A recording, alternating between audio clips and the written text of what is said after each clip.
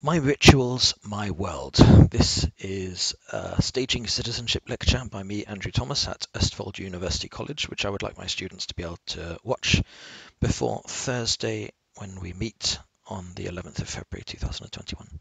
So, my rituals, my world. We need to understand how rituals work um, in our society if we are going to understand that society and, and how robust it is and how unchanging it is, or whether we can actually change society and change the meanings that rituals put into place in the world. Um, traditionally, um, people who study rituals, and, and, ritual theory really is an enormous field, and I can only give a, a, little introduction to it in the context of this module because we'll be using it and changing it. We won't be taking the usual approach, but it is an enormous field. Um, and anyway, ritual studies do tend to um, define rituals according to their function or their content. Um, so we'll be looking a little bit at that um, in this in this video. Um, firstly, um, looking at their at their content, um, we tend to talk in an everyday basis about my little rituals, the little things I do in my everyday life, and like waking up, brushing my teeth, eating, going to bed, um, and, and, and, and I have my rituals which involve making myself a cup of coffee and um, and trying to have enough patience to not shout at anyone that talks to me before I have that coffee. Now these are the rituals of my everyday life, but they are just things that I do every day, and um, and it's difficult to say um, why we would want to call them ritualized behavior. Um, they are definitely very similar. I mean, it, it, genuinely is a repetition. I do do exactly the same. Um, when I sit down, for example, and um, and for some reason we we seem to ritualize the things that are most animal about our behavior, like like eating, um, like sleeping, um, and um, ritual um, theorists spend an inordinate amount of time discussing what the difference is between something which we just do an awful lot in exactly the same way, which is to say, um, which is say extremely similar habits, um, or, or, or, almost neurotically similar habits um, that I must do. That I must have this way of getting out of bed, for example.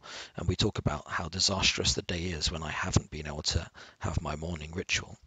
Um, and um, and and and the more developed, so we got habits like that, and the more developed um, rituals that we talk about, which are which don't seem especially natural at all.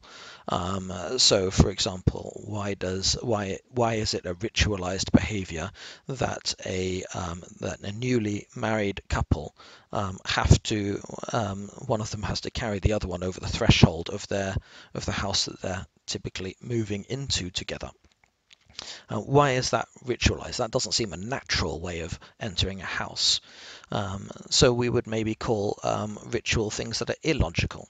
Um, so that's that doesn't seem right either. Some things seem to make a lot of sense. Some things don't make a lot of sense. The point is, we have rituals that resemble logical practice. We have rituals that resemble habits, and um, and there is a uh, and there is a discussion as to when we go from the one into the other. When are we?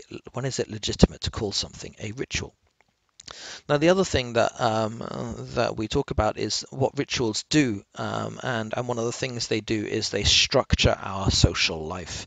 Um, they answer our ritual discussions answer some of the most important questions in life, like who am I? Well, I'm baptized into the name Andrew. Um, where am I? Um, where, what, what borders am I crossing? What borders have I crossed? What time is it? Oh, what season are we in? Do we have a, a liturgical, a religious season? Do we have a, um, do we, what relation do we have to where the sun is in the sky at the moment? And all of these things can be marked by and confirmed by um, and, and described by ritual. We can say we are now moving from spring into summer, so let's do something to ritualize that. This is a, at the banal level. This is a way of making our communication better. Um, it's important that we all understand each other.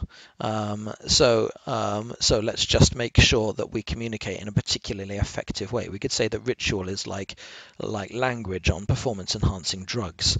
Um, some people um, read um, read some ritual as just a way of talking, um, but uh, some people read something more existential into it. So this is um, when we, when we ritualize something, we do something more with our psyche.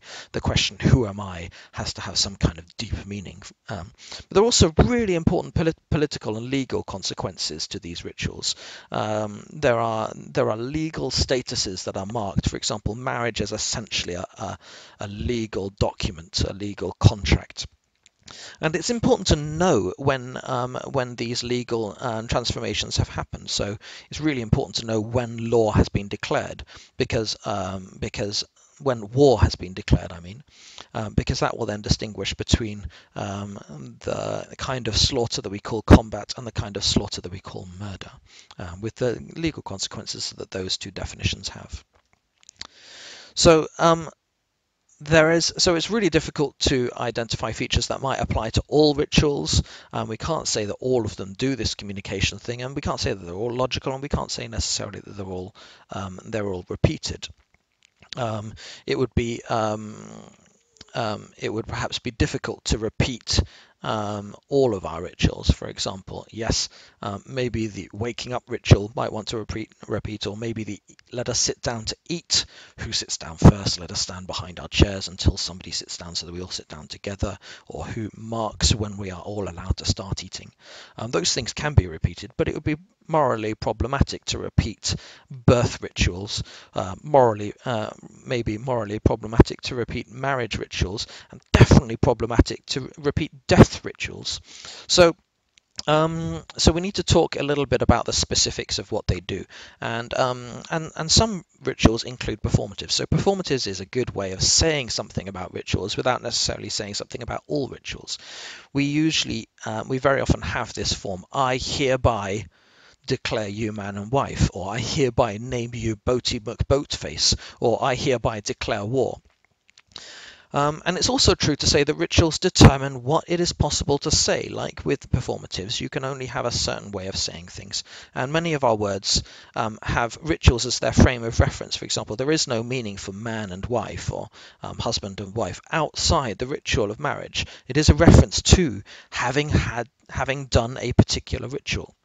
Um, and although sometimes we, we might want to stretch what it is possible to say, for example, I only have one wife, um, which we um, which we would say in societies of which have monogamous um, um culture um, however much we want to. We can't because there is that is just that ritual that we have. Um, so our rituals determine what we can say, and that we you can't just start a way of sense making um, just as like you start this year. I've got to have a new New Year's resolution. For example, I'm only going to eat this particular thing. You can say, oh, this year I'm only going to make sense in this way. No, there are social occasions, there are social formats, and we are hemmed in by these rituals. We have no other way of making sense than the meaning, um, institutions, the language, and the rituals that we are living in, that we inhabit, whether we like it or not. There's no other way of um, of making sense of the words husband and wife apart from the marriage ritual. Even though there are different marriage rituals, marriage ritual is the essential reference of husband and wife. So Rituals sometimes feel silly and um, sometimes they feel illogical, uh, and the worlds they make feel less real perhaps now than they once did. For example, no one really cares what liturgical season we're in at the moment, um, but we do care, for example, if we're students and teachers, which semester we're in. The few um, rituals that were left to us, they're still really robust and they still make and change our channels of communication, so we can't just sign out of them. It's said that one way of making your brain develop is to get out of bed in a different way every morning. So our brains, the kind of brains that we are and the kind of brains that we have are also determined by our rituals and our habits. Um, so it's also tr- true to say that the meanings we make, the words we tend to say, and the connections we make um, determine what kind of brain. And we can actually see physically in, in our brain the changes that make that take place when we know an awful lot and when we use particular channels of communication and thought. So we could also say that rituals do not only tell us who we are, they make us who we are.